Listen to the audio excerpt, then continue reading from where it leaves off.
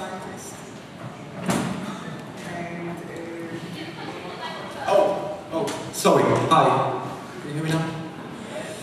Okay, uh, the term singularity was, uh, was voiced, was used today uh, on several occasions, and probably most people here know about it, or heard it before.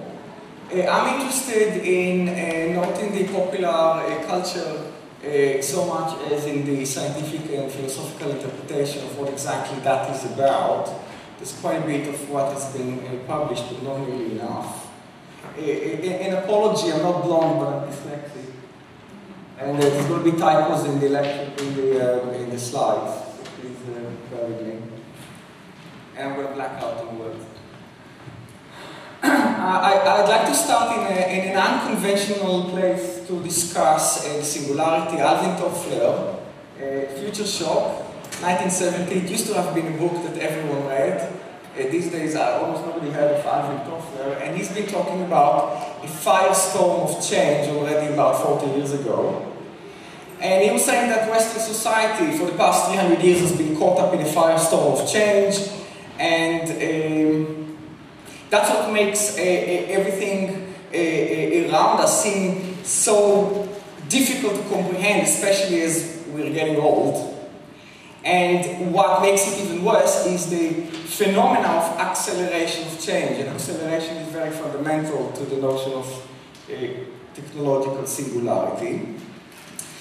The second person I want to mention in the build-up uh, to the subject of singularity is Carl Sagan in his 1986 book, this is not from Sagan, but that's what Sagan, uh, one of the things Sagan shows in his book, this diagram is uh, showing paradigm shifts. And what's interesting about it is, is that it goes all the way back, all the way back to almost the Big Bang. And uh, if you and if you look at it, if you plot it on a logarithmic scale, uh, what's really interesting about it is that it looks almost like a straight line.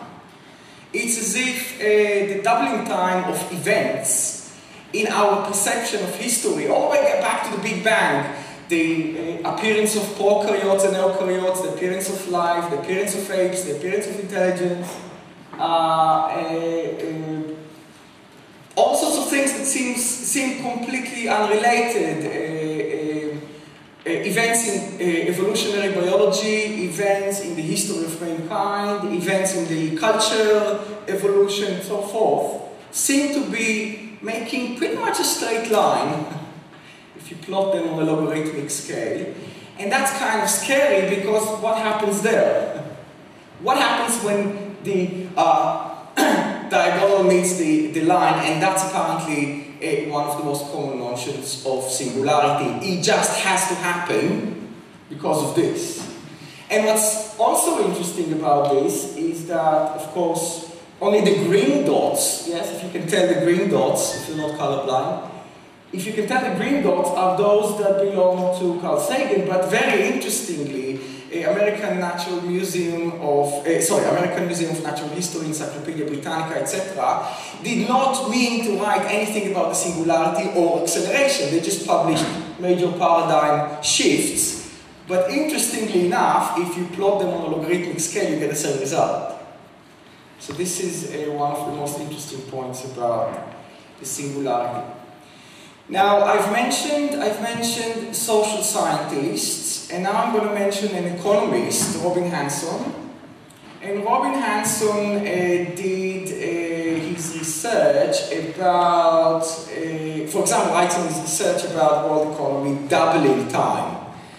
And uh, the interesting thing he says, well, it, it's very difficult to talk about world economy now because we're a mix we're a, the world it, as we are now is a mix of uh, industrial society and post-industrial society, along with a farming society and, and even in some places hunter-gatherer society. But if we look at the doubling time of the societies, uh, doubling time of the economy of societies, then very interestingly, there is a huge transition here going on in the, between the agricultural revolution and the industrial revolution. And what's coming here, the next evolution will be there for the technological singularity. So, hunter-gatherer society, about 10,000 years ago and before, uh, doubling time was around a quarter of a million years. A farming society after the agricultural revolution about 8,000 years ago, until not too long ago, until the industrial revolution, it's about just, just below 1,000 years. And uh, for industrial society at the moment it stands around a decade. Now what happens after the singularity? People talk about uh, world economy doubling time measured in hours, seconds. That's insane. Imagine that every hour world economy doubles.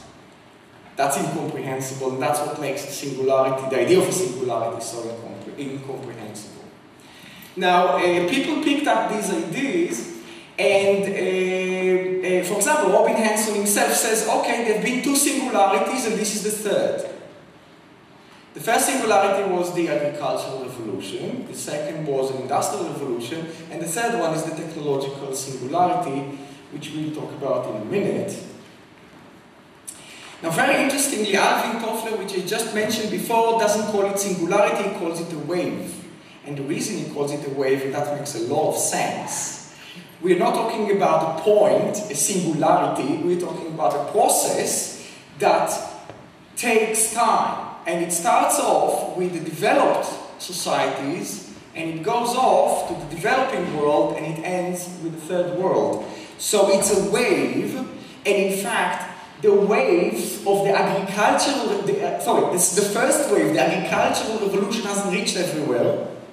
And the second wave is still undergoing, it is still going on strongly in some societies. And in fact, uh, not all societies today have already uh, started even the knowledge evolution. So according to Alvin Toffler, not singularities but waves, but again, notice the similarity. I don't think these people knew of each other. Certainly, I mean, they're both alive and they don't seem to recognize each other's work, but it's interesting to observe the similarity between them. And uh, Toffler talks about wave and he talks about the third wave. And uh, I don't know if you want to, if you want to get rich, ask the richest man in the world, uh, Carlos something, Slim, thank you, uh, how he became so rich. He was interviewed, I think, in Wall Street Journal, and he said, "I read Alvin Toffler," and he, and he carries his book under his. So maybe that's that's the way to get rich. Uh, this is not this is not a publication. This is not a publication at all. It, it certainly hasn't been written by an economist. This is a philosopher working with others in the Future of Humanity, Humanity Institute, and uh, it's very interesting. He's talking about growth rate. I apologize for my R. I wasn't born anywhere where R was like the English R, but it's growth rate. Okay, and in terms of growth rate, let's say we measure it in terms of the time it takes to sustain another million people, and there are all sorts of definitions, what does it mean to sustain another million people? Just think that there is enough food and uh, YouTube for everyone to go around. So 200,000 years ago, that's hunter-gatherer society, we're talking about yeah, just the emergence of, few, of the uh, Homo sapiens sapiens. Uh, it, took, it would have taken a million years for the human race to sustain another million people. 500 before Christ, we're talking about 200, two decades, two uh, centuries, and at the moment it's 90 minutes. It takes 90 minutes to sustain another million people. Okay, what took a million years only uh, 200,000 years ago. So this, this, is the, this is the essence of the notion of acceleration. Something here is going faster faster and faster and faster. And the question is, what's next? So, um, one of the clearest signs of the acceleration is what's called Moore's Law. I'm sure everyone here heard of it, uh, or not. Moore, Gordon Moore was one of the co-founders of Intel. It's this company that makes those chips that make our computers work or not. And uh, law simply says that every, well, it, there, are, are billion variations, but I'll give you the simple version. Law says that every year a computing equipment uh, either doubles its performance or halves its price. Okay? So the chip that you buy today for 200 pounds will cost next year 100 pounds, or for 200 pounds, for the same 200 pounds, you will buy a chip which is twice as fast.